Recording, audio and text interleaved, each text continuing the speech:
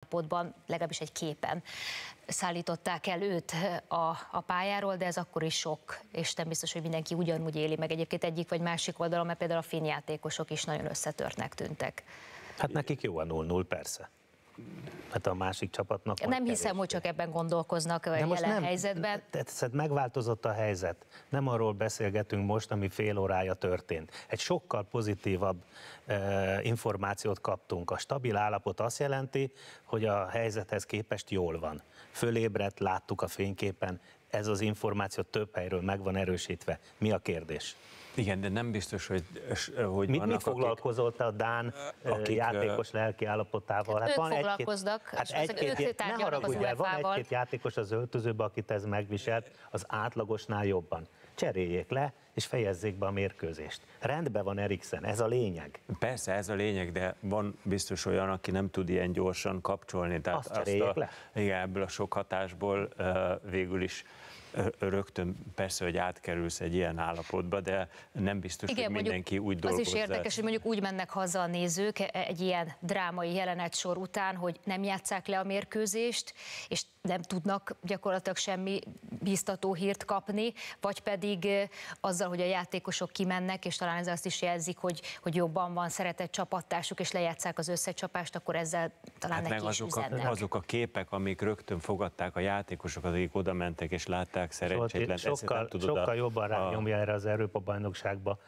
ez az eset a bélyegét, ha ez a mérkőzés nem lesz lejátszva. Ez a mérkőzés le van játszva, és normális mederben nagyjából visszamegy a, a menete a, a futballnak, van, akkor sokkal könnyebben neked. át tudunk lépni ezen a szituáción, mintha most még egy nagyobb tragédiát csinálunk belőle. Csak hát nem mondom, nem vagyunk egyformák, biztos, hogy van, aki uh, drámaiban dolgoz föl egy ilyen helyzet, annak ellenére, Én nagyon megértem hogy, Zsoltot, de egyébként azt is, Gyuri, ahogy te állsz ehhez hozzá, sok szempontból racionálisan is kell, nem feltétlenül csak az első érzelmi sok alapján dönteni egy ilyen helyzetben. Biztos, hogy meg lesznek kérdezve. Még azt is aláírom, amit te mondasz, hogy ha éppen van 12, aki azt mondja, hogy játszani szeretnének, és 8 nem, akkor az a 8 az marad az öltözőbe, a 12 kimegy, okay. és lejátszák egy Na, cserével. Hát de ez azt, is tehát a következő kérdésem az, hogy miért kell ehhez 40 perc, vagy 45 perc?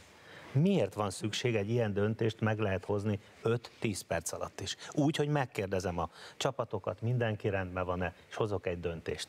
Miért kell csigázni az embereket, akár ott a stadionban, vagy a tévé előtt? Az, e, még UEFA rendel, rendel kezésbe még nem vettem részt, ezért... Igen, és nem... tudom egyébként a procedúrát, hogy hogy zajlik. Ez egy, ez egy válsághelyzet jelen pillanatban, és meggyőződésem, hogy mindkét féllel egyeztettek, mielőtt döntést hoz az Európai a, Labdarúgó Szövetség. Ismerve egyébként az embereket, akik akár UEFA szinten, akár szövetségi szinten dolgoznak, ilyenkor fontosnak érzik magukat, és túlspilázzák a dolgokat, Igen. szerintem. Hát biztos, hogy több témát körbe kell járni, nem csak a, a, a pszichai állapotát a játékosoknak, gondolom vannak itt olyan uh, tényezők is, amikről mi esetleg itt nem uh, kapunk hírt, uh, azért kell nekik, de hát én ezt a 15 percet, ami még van, most már talán annyi sincs, már csak egy 10 perc, perc, szűk igen. 10 perc, igen. Uh, inkább já, rágják jól át a dolgokat. Okay, és, van. Na De a... egy újabb pozitív hír, mindeközben a Dán Szövetség is megerősítette, hogy Eriksen ébren van, kórházban ápolják természetesen, de ébren van magánál. Ez a lényeg. Így van. Megnyugodhatunk. Folytat, menjen az élet tovább. Ja, nem sokára 9 órától pedig Oroszország-Belgium mérkőzés ugyanebből a csoportból Szentpéterváron. Nem tudom, hogy ők mennyit érzékeltek ebből a történetből, talán nekik könnyebb függetleníteni magukat, nem csak azért, mert távol vannak, hanem mert nem élték úgy át ezt a jelenetet, mint ahogy mi, meg bárki, aki a tévéképernyők előtt is nézte. Valószínű, valószínű. Hát én szerintem ez mindenkinek egy óriási megkönnyebbülés, hogy ebbe a jó irányba megy el az a, ez a történet, és ahogy mondtad, én gondolom, hogyha nem vagy annyira benne ilyen közelről, akkor sokkal könnyebben vissza tudsz állni és fókuszálni tudsz arra a feladatra, ami egy, egy órán belül eléd áll. A következő mérkőzésen ebből nem lehet probléma, ugyanis ezek a hírek, hogy stabil az állapota, kinyitotta a szemét, gondolom kommunikál is, innentől kezdve az élet megy tovább, nem foglalkoznak már a mérkőzéssel, foglalkoznak a következő ö, csapatjátékosai.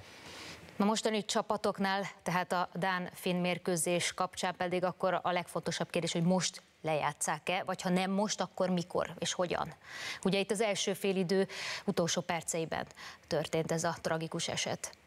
Hát a logikus döntésnek most is azt mondom, hogy le kell játszani ezt a meccset, mindenki jobban jár ezzel, nézők, játékosok hegyaránt. Nem nagyon van idő egyébként egy ilyen sorozat mm.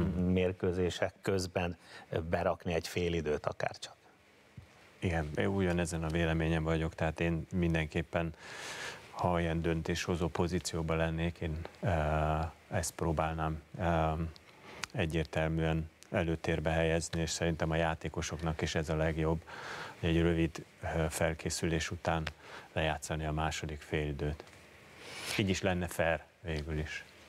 Ismét kikapcsolunk Varga Péter kollégámhoz Kopenhágába. Peti, várjuk a legfrissebb híreket tőled megint. Hát a legfrissebbek azok azok, hogy ismét elmondták itt a stadionon belül hogy 19 óra 45 perckor jönnek majd frissebb információk, de egyelőre annyit tudok mondani, illetve az van, amit ti is tudtok, hogy válságtanácskozás van, és még azt mindenféleképpen hozzátenném, hogy hosszú percek óta talán most még valamennyit lehetett is belőle hallani, amikor kiderült az, hogy Eriksen magánál van, ébren van, a kórházban és ápolják, akkor a Dán szurkolótábor a finn drukkerekkel közösen Eriksen nevének a skandálásába eh, kezdett, és eh, visszatérve még egy kicsit eh, a stúdióban elhangzottakhoz, csak személyes tapasztalat, és én aztán tényleg nem vagyok csapattársa, sem barátja Eriksennek, pedig hát nagyon aranyos figura, nagyon jó fej és jó játékos is, úgyhogy hát csak sajnálhatom ezt. Szóval, hogy nem vagyok barátja,